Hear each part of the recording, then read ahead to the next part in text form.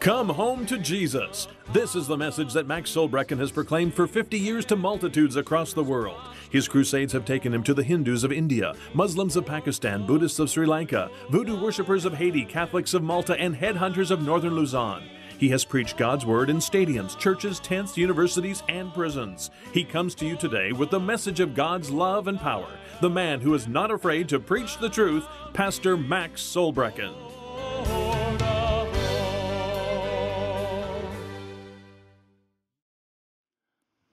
Lift up your hands, shout hallelujah.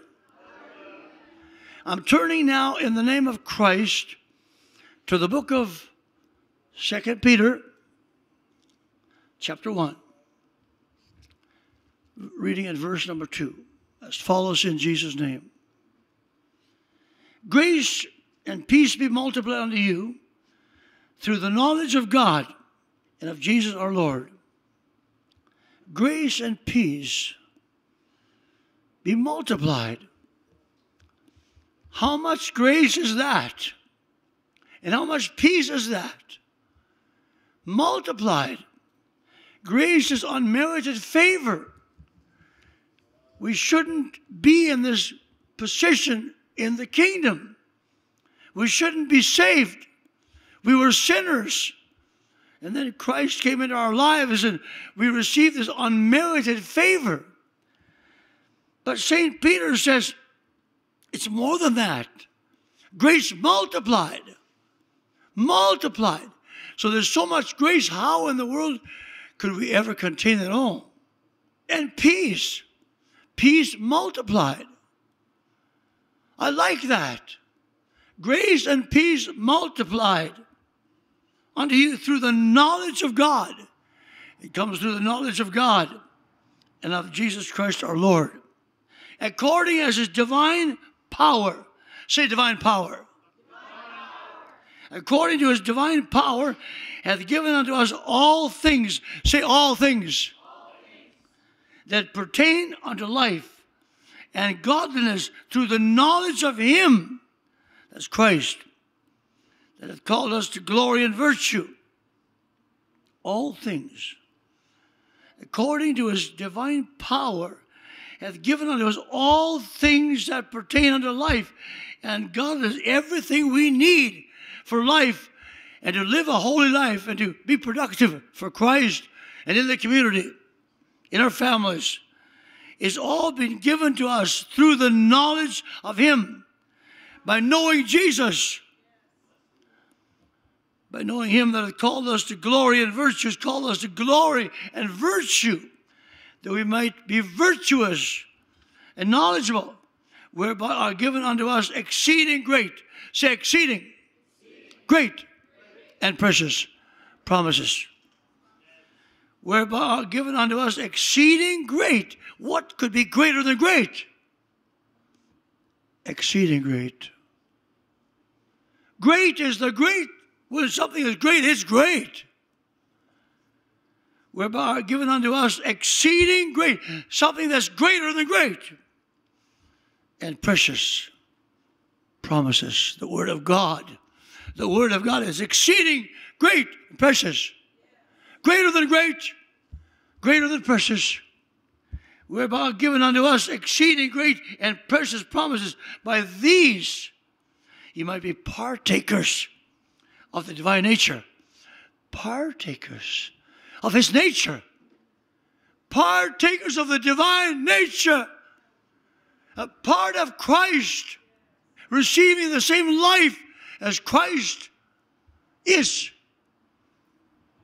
Whereby are given unto us great and precious promises, that by these you might be partakers of the divine nature, a part of Him receiving His life into ourselves his nature, His grace, His goodness, His peace, His kindness. We've escaped the corruption that is, that is in the world through lust. We've escaped that corruption. That's why $6,000 is nothing to send a child, a young person over to be taught for 10 months how to live for Jesus. Someone say hallelujah. You can't buy that. But it comes through knowing Jesus and learning about him and receiving from him. We escape then we escape the corruption that is through the world through lust. What was the sin of Satan? Pride number one and lust number two. Pride of his own beauty and his own power and lust for power, lust for greatness. He wanted to be number one above God. The sin of Satan is pride and lust for power. Let's bow for prayer. Father, thank you, O Lord, for thy goodness and thy mercy. Thank you for being with us here and allowing us to preach your gospel. What an honor, what a privilege to hear your word and to believe it and receive it. Now bless each person and all those who hear this, this message over the YouTube somewhere across the world, in India and Africa, in the Muslim nations of the world, all across Latin America and North America and the world. Jesus, may your blessing rest upon them all as they hear this message. For Christ's sake and for God's glory, with much thanksgiving, would you shout a great big amen? amen. You may be seated. My message is entitled Three Extraordinary Spiritual Truths. Three spiritual truths extraordinaire, we might say. Number one, God is duty bound to keep his word. Number two, Satan is duty bound to obey God's servant when we speak in the name of Jesus. And number three, we are duty bound to serve Christ with all of our ability for as long as he lets us live or until Christ comes again. Three spiritual truths extraordinaire. God is duty bound. He's duty bound to keep his word.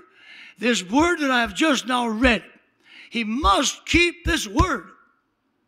Because we are believers, we receive his divine power. We receive all of the goodness and all of the mercy and all that the promises of God promise us. This great nature of God is our nature. We are sons of God. We are children of God. Turn with me, please, to First John chapter 3. And the Bible says here, in verse number 1, Behold, what manner of love the Father hath bestowed upon us. Say, God's love. Can you ever, in your, all of your life, understand it? I cannot.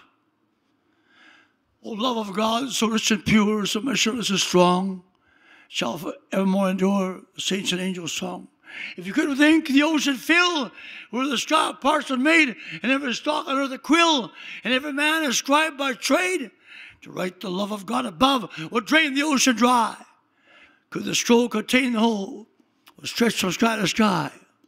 O love of God, so rich and pure, so measureless and strong, it shall forevermore endure saints and angels song.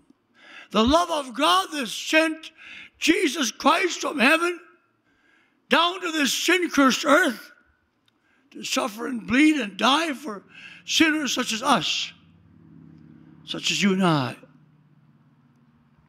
Beloved, what manner of love the Father hath bestowed upon us that we should be called the sons of God. The sons of God. The sons of God. I remember one time we were in the West Coast and I was preaching to a bunch of native Indians on the West Coast, way out there in the Pacific Ocean, one of the villages. And there was a woman there that was full of the devil. These were all native Indian people. And I cast the devil out of her in the name of Christ. She was a wicked woman. They said she was a very loosey goosey type of woman. And it was the devil was in her. But we cast it out. Demons came screaming out. The crusade continued for a few more days, and I was casting the devil out of another person. And lo and behold, she came and said, Could I pray with you? Here she had been a really a, not a very good woman, but she was free now and had received the Holy Spirit. And I said, Go ahead, you, you, you pray. And as she was praying and commanding the devil to go, the devil left. Because she was filled with God. I saw the power of God. A man who's a sinner, in one moment, the next moment is changed when he's born again. And when he's filled with the Holy Spirit. Totally, completely. If any man be in Christ, he's a new creature. All things are passed away. All things become new. Behold, what manner of love the Father hath bestowed upon us that we should be called the sons of God. Therefore the world knoweth us not, because it knew him, him not. Beloved, now. Say now. Shout out now. Wow. Now are we the sons of God. Right now. Not when we get to heaven. Now. Maintenant. Yet new in Norwegian. Maintenant, that's French, isn't it? Right now. Beloved, now, we're the, now are we the sons of God. It doth not yet appear what we shall be, but we know that when he shall appear, we shall be like him. That's settled. That can't be changed. If we walk with him, when he comes, he'll take us. It can't be changed, it can't be altered. If you walk with Him, He'll walk with you. Walk with Him, Lord. Walk with Him. Walk with Him, Lord. We'll walk with Him all along life's pilgrim journey. Um, we'll walk with Him. Oh, talk with me, Lord. Talk with me. Talk with me, Lord. Talk with me. All along life's pilgrim journey, I want Jesus to walk with me. I want Jesus to talk with me. Hallelujah, hallelujah, hallelujah, praise the Lord. Hallelujah, hallelujah all with one accord. Blessed Jesus, blessed Jesus, blessed Jesus, praise the Lord. Hallelujah, hallelujah. We're here with one accord. Beloved, now we're with the sons of God. Beloved, what terminology? He calls us beloved. This great man of God says we're beloved. Now are we the sons of God. It, not, it doth not yet appear what we shall be, but we know. We know that when he shall appear, we shall be like him. We shall see him as he is. Slip up your hands towards him. Hallelujah, hallelujah, hallelujah, hallelujah, hallelujah, hallelujah, hallelujah in Hebrews, the sixth chapter, verse 17, wherein God, willing more abundantly to show unto us, to show unto the heirs of promise the immutability of his counsel. His counsel cannot change, it's immutable. He confirmed it by an oath that by two immutable things in which it is impossible for God to lie. Say, it is impossible for God to lie. God cannot lie. Jesus said, I am the way, the truth. Say the truth. And the life. Wherein God, willing more abundantly to show unto the heirs of promise, that's us, the immutability of his counsel, of his word, confirmed it by an oath about two immutable things in which it was impossible, impossible for God to lie. We might have a strong consolation who have fled for refuge to lay hold upon the hope that is set before us. We can be certain, without doubt, we are God's children. He belongs to us. We belong to Him. This world is not our home. We have a home waiting for us. Hallelujah. It says in Second Timothy, the second chapter, Second Timothy chapter 2, it tells us that God cannot deny himself. He cannot deny himself. What he has spoken has to come to pass. Second Timothy chapter 2, verse 12. If we suffer with him, we shall also reign with him. Buckle up now. Hallelujah. Because we're taking off. if we suffer with him, we shall also reign with him. If we deny him, he also will deny us. Don't do it. Don't deny him. If we believe not that he abideth faithful, he cannot deny himself. It's impossible for God to lie, impossible for God to break his word, impossible for God to deny himself. God is duty bound to keep his word. Oh, hallelujah. John 3:16 For God so loved the world that he gave his only begotten son that whosoever believeth in him should not perish but have everlasting life. What does that mean? That means that if we come to him and receive him, we have everlasting life. We have it. It's ours. Impossible for God to lie. Look at the book of Isaiah the prophet. It tells us about God the Father and what he has to say. Precious Jesus. Isaiah 45. And let's turn to verse number 21. Tell ye and bring them near. Yea, let them take counsel together. Who hath declared this from ancient time? Is there anyone else who could tell the future from way back? No one. Let tell ye and bring them near. Yea, let them take counsel together, who hath declared us from ancient time, who hath told it from that time. Have not I the Lord? And there's no God else beside me. A just God and a Savior. There's none beside me.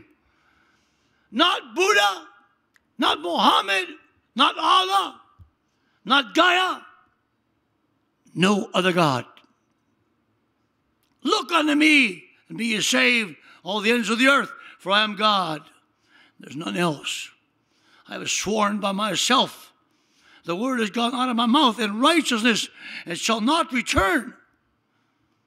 I've sworn, I've stated it, I've declared it. It shall not return. One day every knee will bow.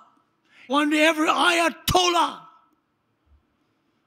One day every Hindu, Muslim, Buddhist, Shintoist, Shangoist, Rastafarian, every atheist, communist will bow. Say, I was wrong. I was wrong. Jesus Christ is Lord to the glory of God the Father. Clap your hands and praise the Lord. Come on, give the Lord. Oh, precious Jesus. Look at Jeremiah, the 21st chapter of Jeremiah. Oh, so precious and so powerful. Jeremiah 1, verse 12. Then said the Lord unto me, Thou hast well sent, for I will hasten my word to perform it. God said, I will be in a hurry to confirm my word. I will hasten. You don't need to wait. I'll give it to you right away. God says, I'm in a hurry to confirm my word, that you might know and believe and prove. Precious Jesus. He will forgive every sinner calls on him. He will heal the sick. I am getting stronger and stronger day by day as I preach his word. Oh, hallelujah. I feel stronger this year than last year. Stronger. I want all you to remember a very special date, August the 14th. That's when my beautiful wife, Donna, has her 88th birthday. Stand up, darling. Give her a big stand up, sweetheart. There she is. 88. And I'm 86, and we're just like a couple of young lovers. Oh, hallelujah.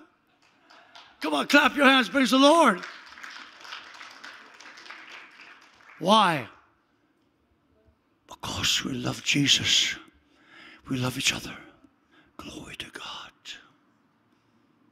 Hallelujah. But the world, for my people, have committed two evils, he said.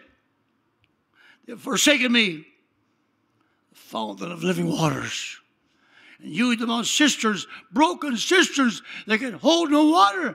No wonder the world's in trouble. They've broken the commandments. They've broken his promises, his word. And they're trying to run things on their own. Can't do it. He said, Come unto me, all ye that labor and are heavy laden, and I will give you rest. Come now, let us reason together, saith the Lord.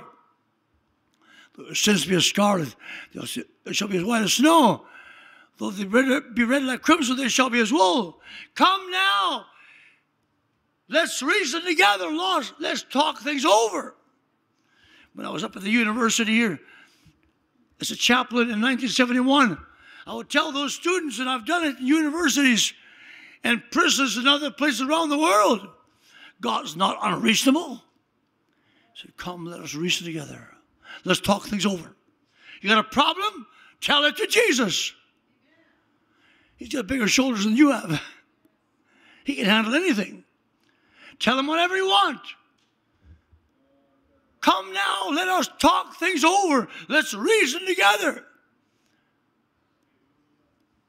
Though your sins be as scarlet, shall be as white as snow. Though they be red like crimson, they shall be as wool. Will he do it? Of course he will do it. He said he would do it. Will he answer prayer? Oh, yes. Matthew 7, 7 and 8.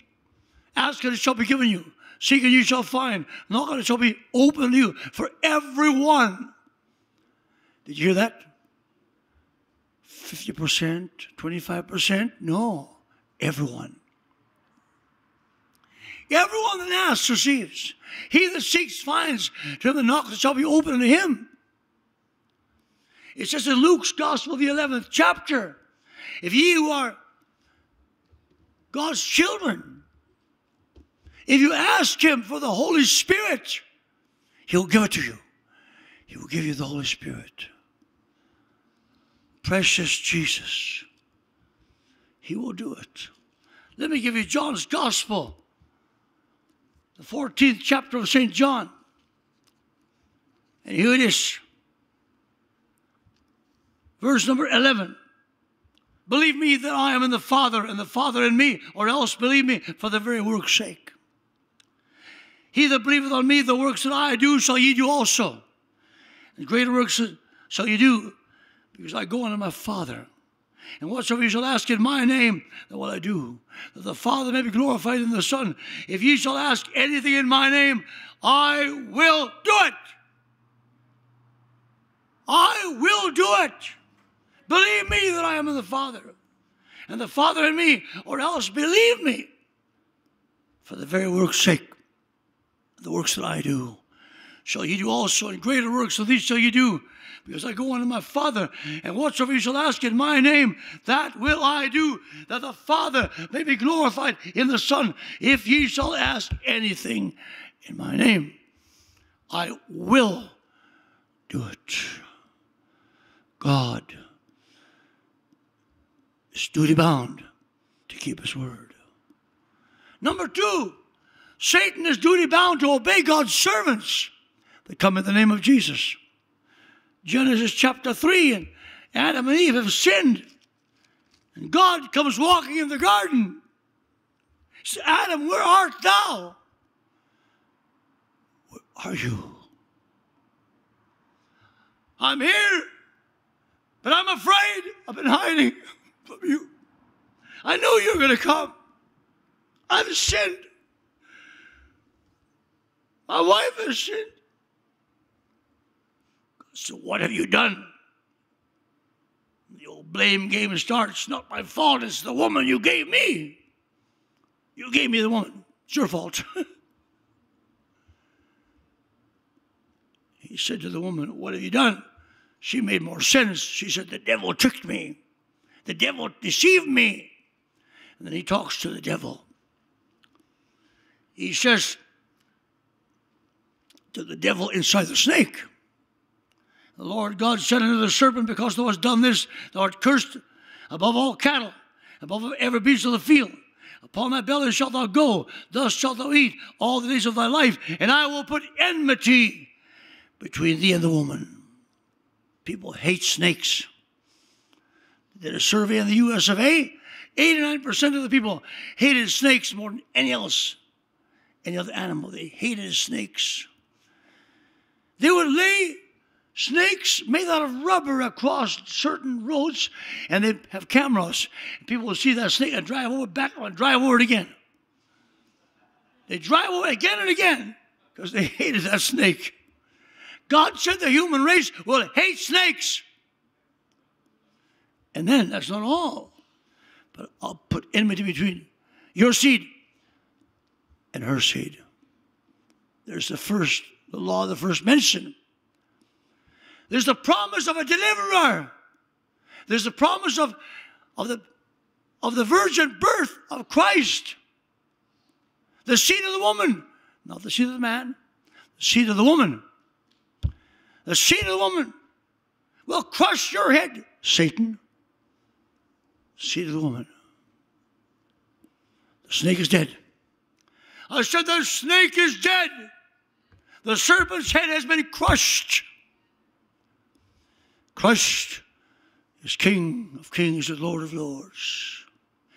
Jesus, I saw Satan, Lucifer, like a lightning fall from heaven. I saw him fall. And now I give you power to cast out devils. Cast them out. That magazine that you received tonight, Ralph Collins, 1967, Trenton, Ontario, when we were casting the devil out of him, as I was quoting that scripture. And Jesus said, Behold, I saw Satan as lightning fall from heaven. When I quoted it, he came at me like he was going to kill me. 1976, we had a great crusade. We had what we called Indian Days. In those days, they didn't say natives, they called everyone Indians who were of the Indian background. A.A. Allen used to have Indian Days in the U.S., and I said, Well, I can have it too. So they called Indian Days. They came from all over in the old Edmonton Revival Center. The place was packed to the doors. We had room for 600 people when it was packed out. And I was on the radio in those days, and a man called Ernest Hunter, a great preacher of the gospel, a native Indian, a Cree. But he had fallen. He left his wife and was living with another woman and drinking. And I was on radio CFCW, and I was talking about backslidden preachers who would leave their wives and, and go drinking. And he heard me say that, and he was half cut. He said to his woman he was living with, I'm going to kill that preacher. She said, Oh no. His brother came and said, I'm going to go to Edmonton and kill Max Solbrekken. His brother said, No, you can't do it. He said, I'll do it. And after drinking for a whole week, he jumped into the pickup and he had the 30 30 in the rack right behind him. He drove down to Edmonton, 149th Street and Stony Plain Road. The place was packed out. Pastor Driver always sat at the back to welcome people. There was one seat left. Ernest Hunter just parked in front of the church and he came in. And so Pastor Driver said, There's a spot for you right here. He said, No, I'm going up to that man. I'm going to kill him. And he came down there. He was a big man. He was a handsome man. Was he handsome? Big, tall, handsome Native Indian. And he walked up to me and I saw him coming. And he stood there and said, I'm going to kill you. Well, I said, You lying devil. And I'd been a bit of a street fighter myself when I was younger and trained in boxing and all kinds of stuff like that. Boy, when he said that, I said, You, you lying devil. And I walked up to him and hit him in his left shoulder and spun him around, slapped him down. And my knee in his back. Knocked the wind out of him, and I cast the devil out of him. And all of a sudden, he said, I woke up and he said, Pastor Max, why did I want to kill you?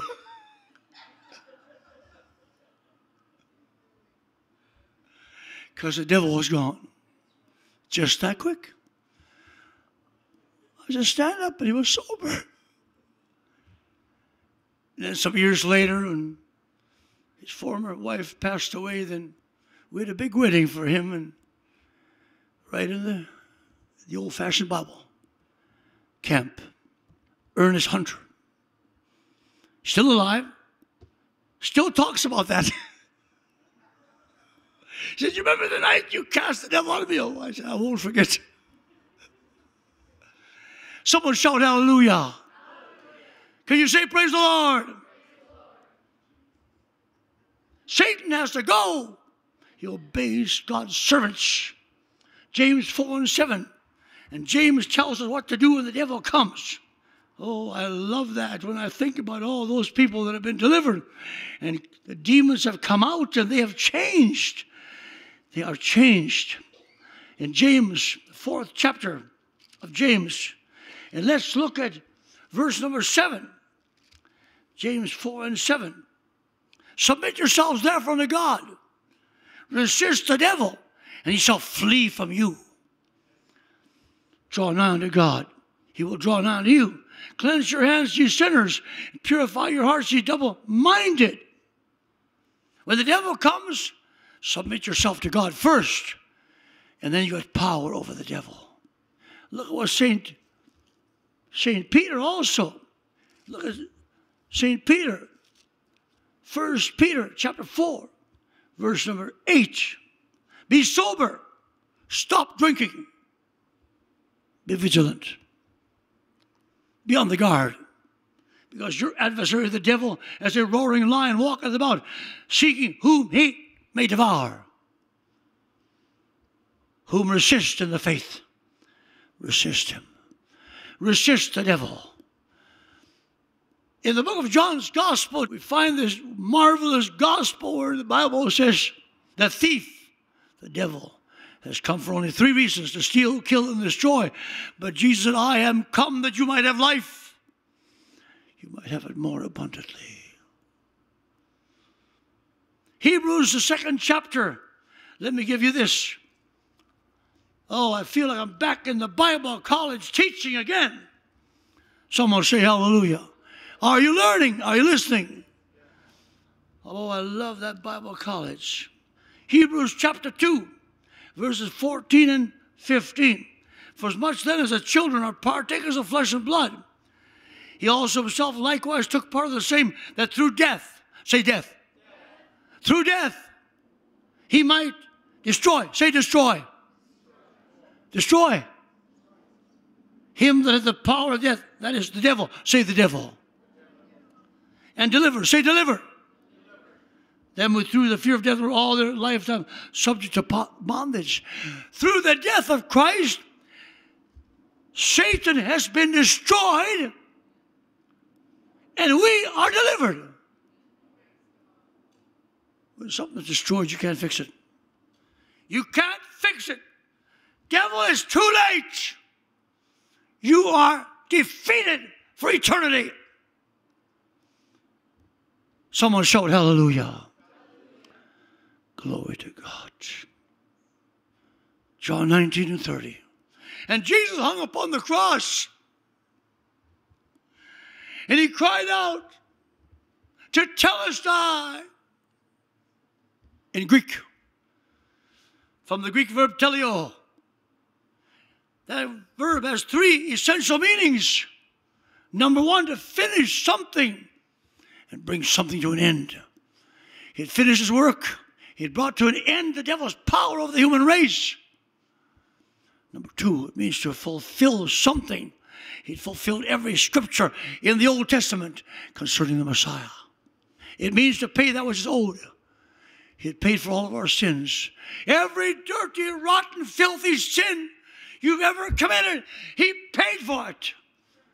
His blood washes every sin away. I believe Jesus saves, and His blood washes whiter than snow. I believe Jesus saves, and his blood washes whiter than snow. Do you believe Jesus saves, and his blood washes whiter than snow? Do you believe Jesus saves, and his blood washes whiter than snow?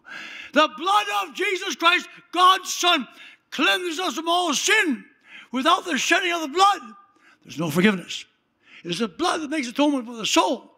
And the blood of Jesus Christ, God's Son, cleanses us from all sins. Someone shout, Praise the Lord.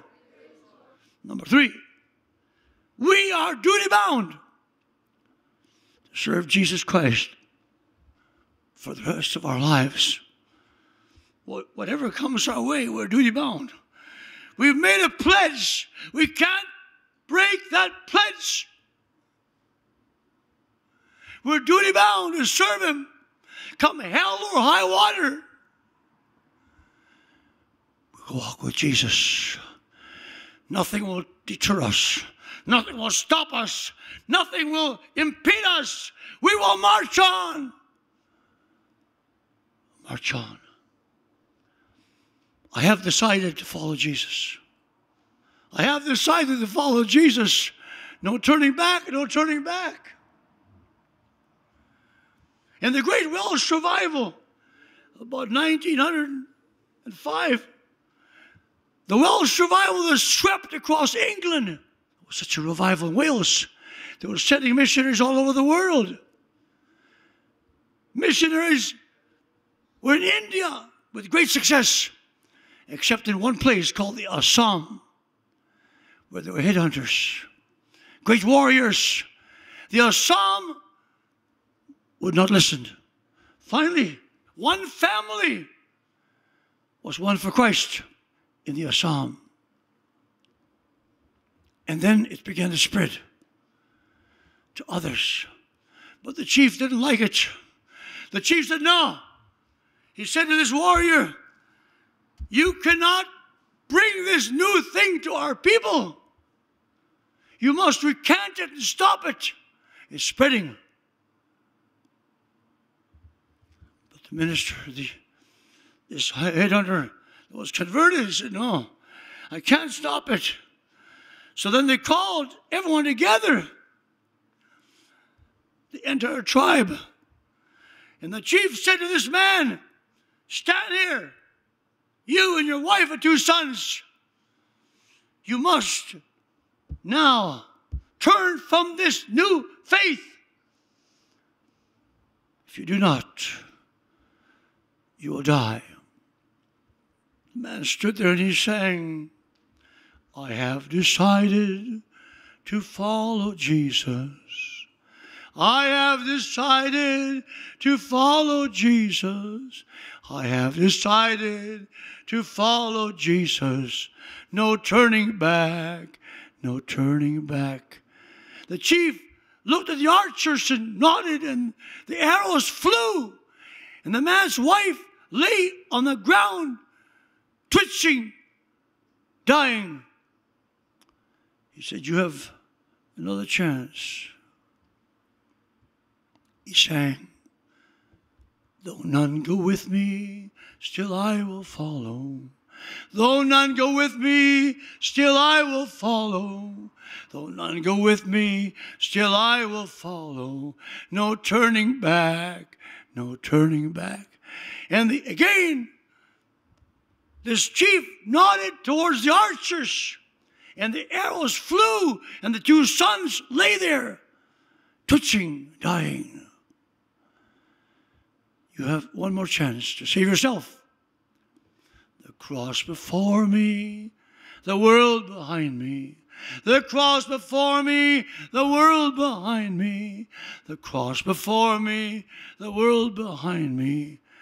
No turning back, no turning back.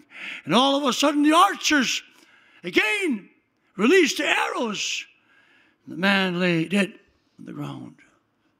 The chief couldn't understand it. He was one of his best fighters. How in the world, what was this? Was this a magical thing?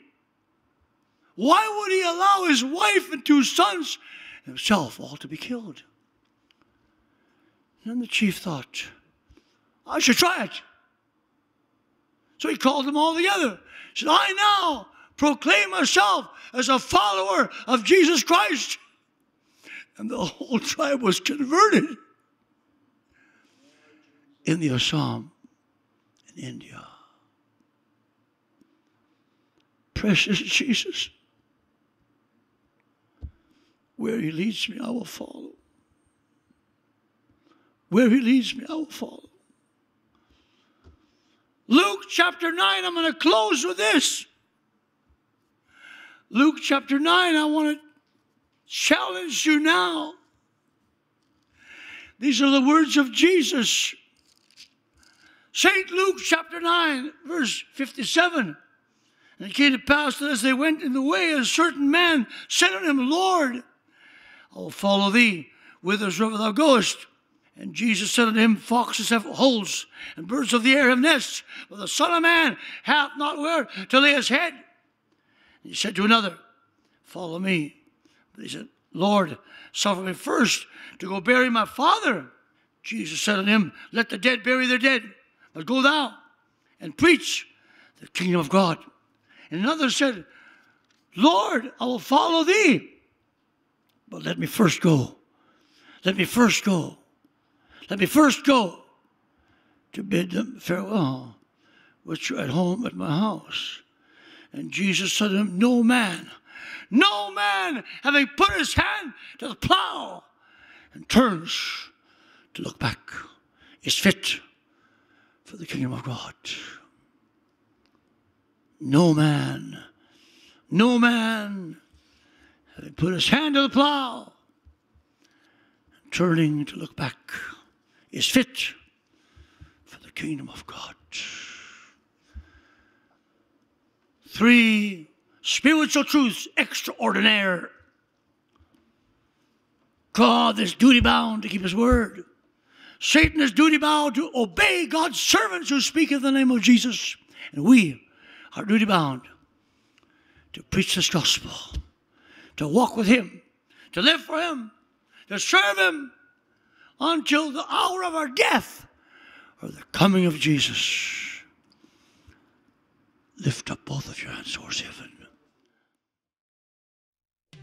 For 50 years, Pastor Max Solbrekken has awakened the conscience of his audiences through the anointed proclamation of the claims of Christ, who said, No man can serve two masters. You cannot serve God and mammon. The truth is, you are either for him or against him. You cannot remain neutral.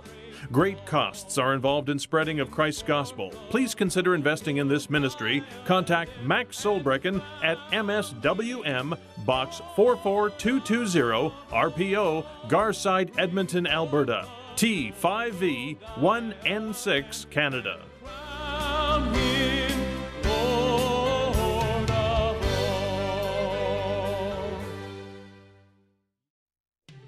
You have been watching the Come Home to Jesus television ministry with Canada's preacher man, Dr. Max Solbrekken, who has proclaimed the Word of God across the world for 50 years without fear or favor of man or devil. Ask for Canada's Revival magazine, The Cry of His Coming, when you write. Invest in souls by supporting this end time ministry. Please contact Max Solbrekken at MSWM Box 44220 RPO Garside, Edmonton, Alberta, T5V 1N6 Canada die again and cry.